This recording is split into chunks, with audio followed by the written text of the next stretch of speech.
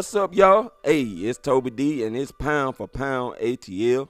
Uh, I'm filling in for me and JR tonight. Uh, as you all very well know that have been keeping up with our live stream, JR is on a cruise with his in-laws, and yes, they are New Orleans Saints fans. Now, he will have a short moment to brag because we did beat them week 10, and we beat them without them getting a touchdown uh, in that game. They ended up tying the uh, Drew Brees' jersey number, nine points. So they did not get a touchdown, and that was great.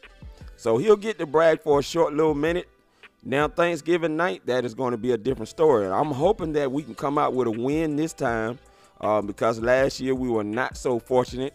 My wife and I actually was debating on staying over uh, her her family's house because they are Falcons fans, most of them, and we did stay only to watch the Atlanta Falcons get their behinds beat on Thanksgiving night. Um, and we didn't get back here after 12 o'clock. So hopefully this time, if we make that decision to stay, uh, there will be a turn of events and we won't have that situation and we can actually come out with a sweeping win. And I do mean sweeping because we win this game. Of course, you all know we can bring out the brooms and sweep the Saints away, regardless if they win the division or not, which it looks like they are because they're nine and two right now.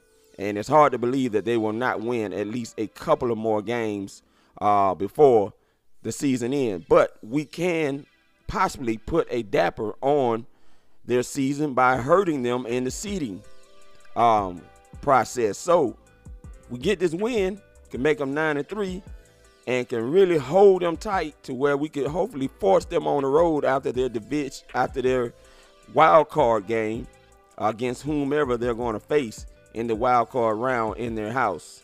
So I'm hoping that can happen. But we did not have a good game on Sunday. You all know, and you watched it. Uh, I know many of you were disappointed because you were hoping that we can run the table and go nine and seven and get all the help that we were going to have to pray for at the end to see if we can make it into the playoffs.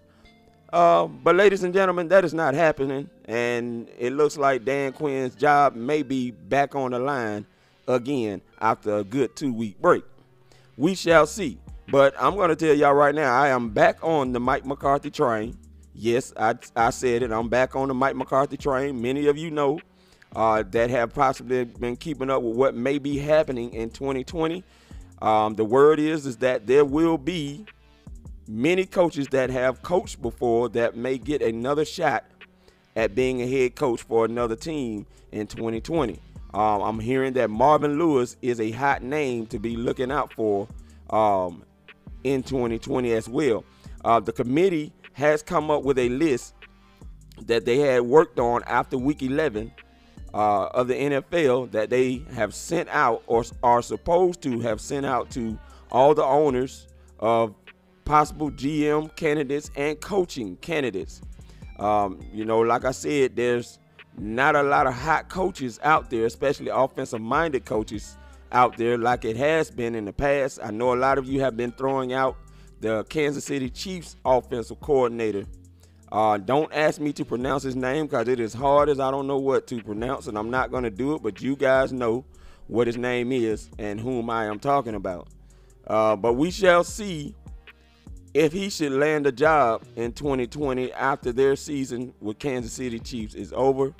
Um, but we can expect that we will possibly end up with a retread as a coach for the Atlanta Falcons. And I'm on the Mike McCarthy train. I know a lot of you have been talking about Lincoln Riley from Oklahoma, um, who came back after being down by a lot of points in the last game they just played, um, scaring themselves. But they did come back and they did get the win. I don't know if Lincoln Riley is going to be an option for the Atlanta Falcons. Um, I prefer Mike McCarthy. I think he would bring a great coaching staff here. Uh, the question will be, of course, many of you will have is a defensive minded person uh, as the defensive coordinator who he would choose in that role should he land the job with the Atlanta Falcons. Um, but I, I, don't see Dan Quinn being here, especially after that Sunday's game, which really irked me. Uh, if I can see some of the things that Tampa Bay came in and, and was doing to the Atlanta Falcons, I don't understand why the coaching was not able to see some of these things. Um, you knew Shaq Barrett coming into this game, had a lot of sacks coming into this game, leading the NFL, I believe. Uh, already had about 11 sacks, and you had no answer for him. Uh, Todd Bowles was moving him all around the place, and we could not stop him. He was wearing Jake Matthews out and uh, McGary out. No help whatsoever. And they had a bead on our cadence. I mean, you know they know Dirk Koetter. They watched film and they saw how Matt Ryan then was making their line calls and they was getting an early jump off the ball. And you were not running any draw plays to counteract that. And I was very upset about that. To at least try to slow that down. And go figure, you see Tampa Bay doing it. For whatever reason, if Jameis Winston could play the Atlanta Falcons 16 times out of a season, Tampa Bay would have been made the playoffs because every time he plays us, he kills us. Now, yes, we got two interceptions off of him, okay, and made his interception total go up to 20 interceptions. Uh, they showed at the beginning of the game how he leads the league in turnovers since he's been in the NFL in 2015 and yet we still cannot do anything with him at all. I mean, he was knocking us off like we were flies or gnats. And that's embarrassing. Uh, you know, you played this guy now nine times, and the first eight times you played him, you know that Jameis Winston scrambles very well on us and gets first downs on us, and you had no answer, no spy, nobody to counteract that after playing him that many times. And that is upsetting to me. Uh, the other thing is upsetting to me is just watching this team, period, and how they came out in this game. Dirk Koetter just could not seem to call anything that worked for him and Matt Ryan to really get things going. Uh, Julio Jones has a shoulder injury that ailed him the rest of the game. Now you have to give it to him. You know Julio Jones is a tough guy, and it's hard to keep him on the sidelines. He tried hard to play with it, but you can tell he was in a lot of agony um, with that shoulder injury. Now we don't know if he's going to play Thursday night. I have no idea, but we shall see. Am I really worried about him playing? No, because we're not going to make it the playoffs. I don't see us getting winning more than six games. To be honest with you, I just don't see it. Now we could maybe run the table, so to speak, and go eight and eight. But what good is eight and eight gonna do? The only thing it does is just prevent us from having a losing season. Uh, which to me, eight and eight is a losing season. I don't care how you look at it. 500 being at 500 doesn't do anything for me. And fans are upset right now, especially when you have had two great showings on the road and you come home and you stink it up just like you did when you went one and seven before your bye week. Now, they did try some things with the stunts and twists they were doing. They had some of the similar coverages they had on the back end. Here's the problem with that. They know Raheem Morris. They know he cut his teeth on Tampa 2, and you know when it's Tampa 2 because all you got to do is watch the responsibility of the linebacker. It was Deion Jones in this case. And on the one play, Deion Jones did a great job covering Chris Godwin. The problem was with that is that Chris Godwin did a better job at concentrating and catching that football because two times they went for it to knock it out and almost did, but no dice. So Chris Godwin gets himself uh, a nice touchdown, one of his two touchdowns, and 184 yards. I told y'all to look out for Chris Godwin in his third season, guess what? The Falcons defense contributed to him getting a thousand yards in that game. And he wasn't the only one. Guess who else got a thousand yards in that game? Mike Evans. Hey, and let's go back to week 10. Michael Thomas got a thousand yards on the Atlanta Falcons. Now, do you see a connection there? Yes. That's three players, three wide receivers in the NFC South that were able to get their thousand yards.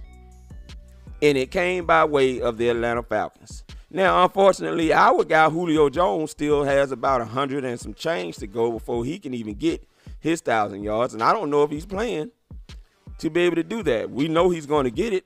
Now, how many touchdowns he gets to finish the season, who knows? I was hoping he was going to get 10, but it seems like everything I've said pretty much for this year, 2019, it didn't mean anything because all of it was wrong. But, you know, hey, I'm willing to admit that everything I said was pretty much wrong about Isaiah Oliver.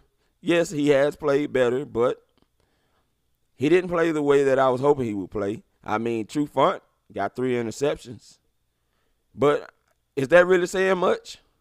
Do we even know if Trufant is going to be here with the Atlanta Falcons after this season?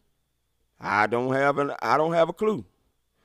It's going to be a lot of changes in 2020 and ladies and gentlemen, you might as well get used to it because whether you want a new offensive coordinator or a defensive coordinator or a new coach or a new GM or not, I think that is going to happen because I don't see us going eight and eight. I don't even know if we're going to go six six and ten. But with three wins away from that, which looks like very far, considering how we came out and played on Sunday against the Tampa Bay Bucks. Two, three, and seven teams coming into the game. I have to admit, that was one of the most boring games that I've watched, which is probably why you didn't hear any fans yelling, trying to distract Jameis Winston and his offense while they were out there on the field, which typically you're supposed to do. I saw uh, a stat today. I don't know if it was uh, Matt Curelor. I think it was him that put it out. Um, one of the Falcons content creators. Dan Quinn is 19 and 18 at home since being the Atlanta Falcons head coach. I remember when there was a time where teams were intimidated to come here in any of our houses to play us. Them days are gone. And unless we get someone who can help reestablish that, there's not a team or coach out there that's going to be scared when they come in here. It's going to be like a home game to them, which it has been since Dan Quinn has been the head coach. Hopefully, one day we can reestablish the intimidation we once had at home. I don't know who's going to do it, but it would be nice to know that you can at least win here when you can't win anywhere else. You got eight games here. But we don't have those days right now. We shall see if those days will soon return. But I don't know if we had too high of expectations, like Scott Pioli was saying. Um, another thing I heard him saying, even though he didn't say specifically whom he was talking about, uh, he was asked about the use of analytics in football, and we know analytics go a long ways back. A lot of teams use analytics to um, judge the draft as far as the players in the draft, free agency, and all those things, and making roster moves for the team. And he was saying sometimes it's difficult dealing with certain people when all they want to do is look at the tape when they have a debate with you about a player or players. And all I can think about is Dan Quinn because he would always say if him and Thomas Dimitroff had issues about drafting a player, a free agent player, he always wanted to go to the tape. And that was funny because it sounds like to me, and it's just pure speculation, there's no facts here, that Scott Pioli was not in agreement with a lot of the moves that they made, signing certain players, and Dan Quinn having control of the 53 man roster. And it's going to be interesting to see if Arthur Blank is going to allow another head coach to come in with that type of control, or is he going to go back to the traditional way of allowing the GM to be the guy to control all of that and to hire the head coach? It's going to be interesting to see if that goes down when this season is over. But until then, guys, we need to prepare ourselves for the end of the year press conference by Arthur Blank and whomever else is going to speak before the new coach is hired or new GM for that matter, uh, because that's where we're at right now. And if you're still in denial about that, then I don't know what to tell you, but I'm there. So, other than that, I don't have any more to say. We'll see what this team becomes in 2020. And right now, I'm rooting for the 49ers. I know y'all are mad at me right now because that's Kyle Shanahan's team. And some of you are still hot at him about that Super Bowl. But I'm going with anybody that can possibly stop the New Orleans Saints from going to the Super Bowl. And if they should happen to get to the Super Bowl, the Ravens is my top choice to beat them. Um, the way that Lamar Jackson and that defense over there is playing. So, hey, other than that, man, y'all comment down below. Please subscribe. Let me know if you feel like maybe us as fans and Dan Quinn and Thomas Dimitroff may have expected more than what this team really is. Uh, hey, as of right now, I'm Toby D, pound for pound ATL, and as always, as JR and myself would say,